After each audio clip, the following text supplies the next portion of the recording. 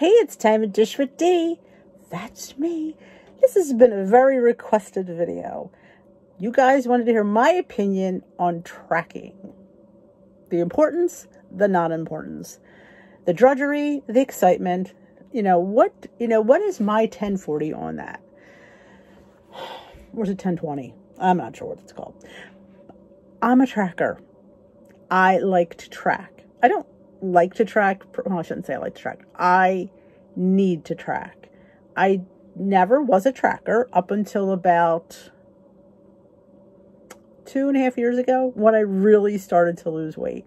I mean, every time I joined Weight Watchers, I would lose 50 pounds. Now, granted, I had 100 pounds to lose, but I would always lose 50 and be done with it. But when I finally stuck it out and I got past that 50 pound mark and kept losing, the difference was tracking. I'm a girl who's been overweight for 40 plus years. That's just my nature. My nature is to eat, and my nature is to eat and not really realize how much I'm eating. I I'm a blind eater. I'm a mindless eater, and I just and I just throw things in my mouth. And if I didn't track, I would gain. I know I would. I I track to eat better and eat more because if I didn't, I sometimes I wonder if I wouldn't eat enough. Like, because if I don't remember, then I might be too afraid to eat. But I, I, people say I don't want to track for the rest of my life. Do you want to gain your weight back for the rest of your life? Do you want to be heavy the rest of your life? See, that's the things I think about. Um, it takes me two seconds to track. It's not like it's going to take me 20 minutes each time. It doesn't because the more you do it, the quicker you become. I mean, I don't, I sit there and this is, this is my tracking. I think I've talked about, I do the quick add. Sometimes I, well, if it's something I could scan, then I scan it. But normally it's the quick add. I know, like if I'm having a sandwich or a wrap, I know my wrap is two points. I know my turkey is zero. I know my lettuce and tomato is zero. I know I might have to put a little bit of mayo. Am I putting enough to count? Most times I don't. But maybe I'm putting a dressing on there, like some avocado, that I'll probably measure out for a point. So then I know that that wrap is three points. So I just put wrap, three. Chips, I know how much my chips are because I have the same ones. Two points of chips or three points, depending on what bag I have. So I know chips, two points. Or I scan the little bags and I just zap it in there Breakfast. Oatmeal. My oatmeal is always five points on blue. If I was on purple, it would be one point. I know this because this is the stuff I have regularly. Oatmeal, one point if I'm on purple. Oatmeal, five points if I'm on blue. I'm done. Was that daunting? No, it took me all of two seconds to do it. Because the more, especially when you're eating relatively the, a routine, like, you know, spin of things. Like there's breakfast that I have. You know, it's a rotation. Oatmeal, eggs, French toast, pancakes, my little loaf, um, bagel sandwich, my homemade bagel, not a Thomas's bagel, a homemade two ingredient dough bagel for three points. A or or a two point English muffin sandwich. I know one slice of Canadian bacon is zero and three slices is one point. I know the chicken sausage is two two links for one point. Like you eat this enough of this, you know what they are. It's not like you're looking, oh God, how much is that sausage? You know how much that sausage is. You have it once a week. You know one slice of bacon is one point. So you sit there and you figure out, it's in my and just put it in, omelet, two points. You know how much cheese, you know how much a point of cheese looks like after using it for so often. Do I weigh and measure? Most things I do, but things like, we'll say, cheese in an omelet. No, I'll grab a pinch. And I know that's a zero point amount of cheese. Uh, I'm not having a quarter cup. I'm not a huge cheese person anyway. But if I have a Babybel, then I know it's a point. You know what thing, if you, if you follow the plan long enough, you know what the points are. And people say, what about tracking calories? I'm not a, I know a lot of people do. And like I say, whatever floats your boat, then do it. If tracking calories floats your, floats your boat, then track calories. I'm a points tracker. It's easier for me to track points. It's something that has become second nature. And I tell you this because I wasn't always a tracker. But once I really got into it, I really got into it. And now it's so innate to just do it that I, I do it before I eat. I'm sitting down, and you see, I film my food, so most times it's already in my tracker before I even film. It's that fast. It's not anything that's overwhelming. I always try to track before I eat so I don't forget. Because I mean, I might have forgot I had a cream sauce on top of my roast beef. I remember I had roast beef and potatoes and carrots, but I had a little bit of a, you know, a little bit of a sauce on top. I might not remember that. Or maybe I won't remember that I happen to have a little roll with dinner because I don't always have rolls, but sometimes I do. So I need to track it as I'm sitting there. You cut it, you're eating, you just pick up your phone, you track. It takes you no time at all. And you hear the old, oh, am I going to have to be tracking for the rest of my life?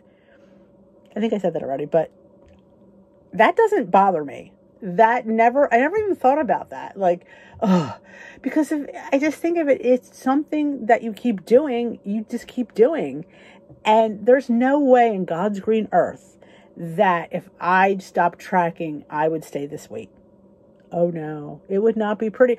I remember before I had left Weight Watchers when I was at a really big plateau for, it was like a six month plateau you lose and gain the same five pounds over and over again. You've all been there. Well, I finally decided I'm not paying them to, I'm just going to, I'm going to leave. I know what I'm doing. Since I basically maintained, which I did, I should be fine. Well, I thought I was doing well. I remember we would go out to eat. I would order really well. I remember, and then I decided, um, my fr friend, you know, Joan wanted to go back and asked if I would go with her. And I'm like, yeah, you know, I probably should. I, I really think I, cause I knew the new program was out. I knew I wanted to see what it was about. And when I got weight, I was shocked to see I'd gained 25 pounds back. I was like, not that I did, I knew I gained, I didn't think I gained 25 pounds. I'm like, I thought I was doing good. Yeah, I wasn't because realistically you don't unless you're accountable.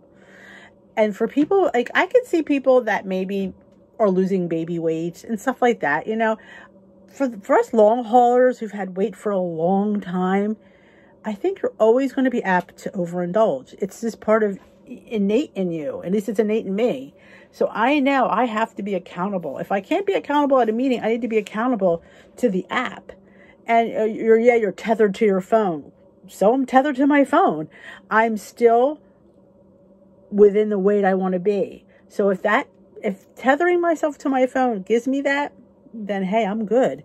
I'm good at that. I mean, you need, I think a lot of us need the accountability.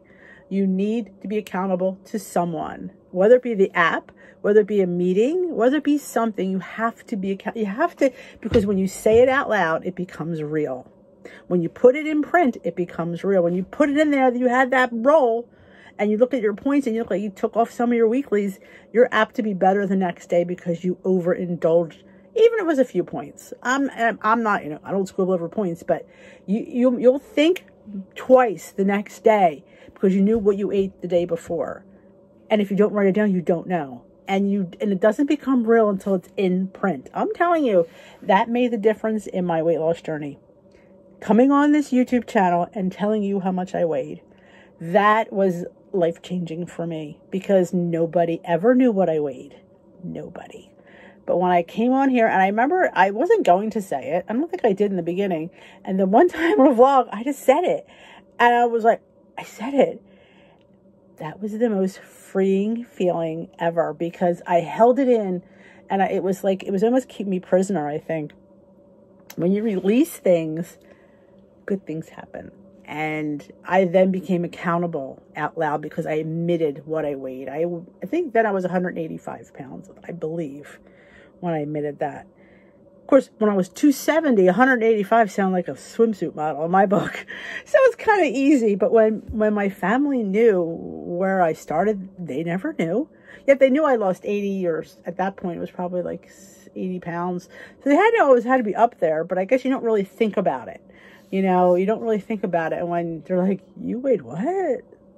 270 pounds. I weighed as much as my six foot husband. And I'm not six foot. I am just under five four. Yeah. And he's got what, six inches on me? Maybe seven? So that's huge.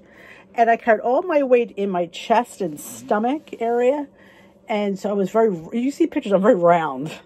And in my neck, I mean, I had a huge, like my neck was out to here.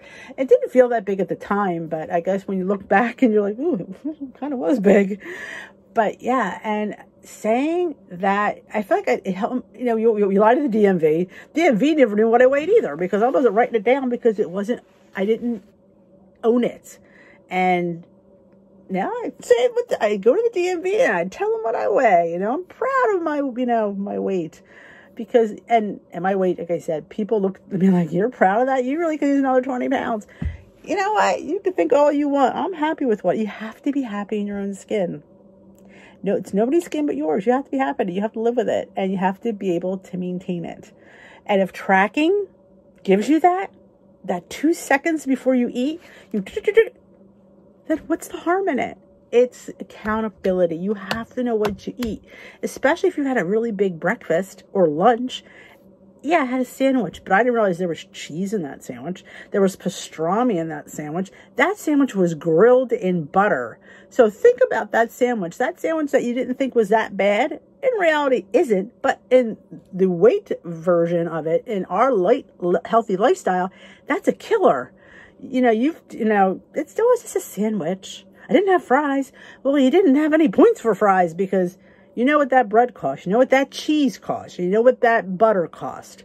So if you put it all in there, you know. So when dinner comes, you know how to adjust your day. If you didn't put it in, you could think, oh, I had a sandwich. That wasn't too bad. I had a sandwich at lunch.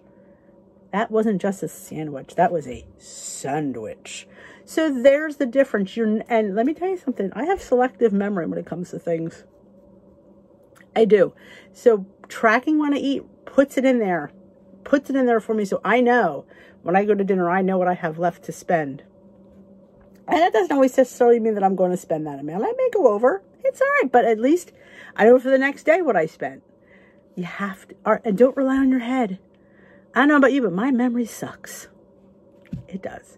So I need to have need to go back and look, why don't, don't I have that many weeklies?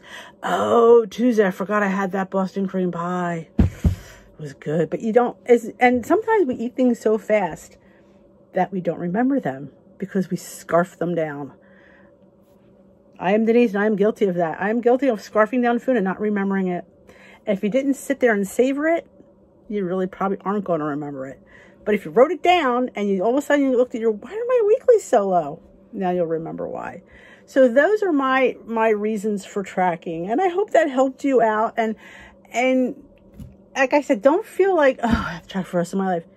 If that's what you have to do to maintain your loss, I think that's a small price to pay. Quite honestly, would you rather be struggling, you know, back at 50 pounds above where you're at? Who wants to be back where you were when you struggled to be so hard to where you wanted to be? Remember being 50 pounds heavier and thinking, oh, if I could just be that. Well, you are there. You have to work to keep there. Some of us have to work at it. I know there's people that don't have to work at it. And I think we're jealous of those. I know I am like, well, she can eat whatever she wants. And yeah, she can. That doesn't mean we can. You know, that's just the hand we're dealt. But we have tools now. We have electronic devices that could make our tracking like that. Imagine having to get the little thing and write it down. I mean, not that you, you know, people do still, people like to do that, and I, that's good.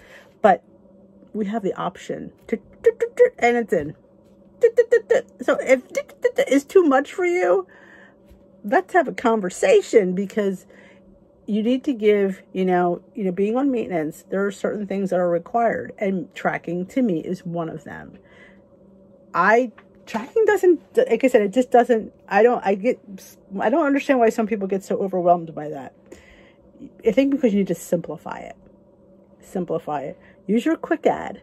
The quick add's your friend. You know what? My omelet, omelet, six points. You sit there, you're putting it together. As you're cooking it, you could add the points up and just go in there, omelet, six points. Well, omelet shouldn't be six points, but you put potatoes in there, maybe it is.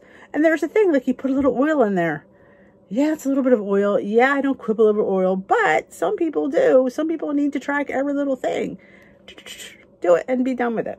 So that is my opinion on tracking. I am a tracker, never was, have been the last, I say, two and a half years. and it made the difference. I would not be sitting here at goal weight, which I'm a little over goal weight, but that's a whole other story, without tracking. Tracking did it. Accountability did it. So if that's what I have to do for the rest of my life to stay here, I'm not going to complain about it because it could be way worse. I don't want to be back there saying to myself, if only I tracked. If only I tracked. All I had to do was track. And here I am having to lose 25 pounds. Nobody wants to go back in, in weight loss mode. We don't. We're in maintenance. We want to enjoy being here. That's what you have to do. So I hope you enjoyed that. I hope you got something out of it and I hope you track. And I hope I, I want to enlighten or no, in, in, what's the word I'm looking for? Inspire you to, to like tracking and to, the more you do it, the more, I'm telling you, the more you'll just automatically do it. It will become second nature if you allow it. If you keep fighting and keep complaining, yeah, it might not. But if you sit there and just you know, keep doing it. It's like anything else. You will just, you'll automatically just pick your phone up. It's just like nobody's business. So I want that to be, you know, your future. And I want you guys to enjoy maintenance and enjoy your journey and enjoy the rest of your life. And someday we may lose our memory and we might not remember to track. Those you can't help. So the fact that you can remember to track is a good thing. So as you enjoyed this, please give it a thumbs up for me. If you haven't already subscribed to my channel, there's a subscribe button right down there. I would love for you to be part of the Dish with Dee community. I have a Facebook group. I go live every night. Come join us for a little tea with Dee. We have chats and we talk kind of like off the cuff like this. And if you have a comment about tracking, leave it in the, in the comment section below. I'd love to hear what you guys have to say. Always enlightens me to hear your opinion. But thank you for joining me. Have a great rest of your day, week, month, or year, whenever you get to watch this. And we will dish another day, folks. Bye-bye.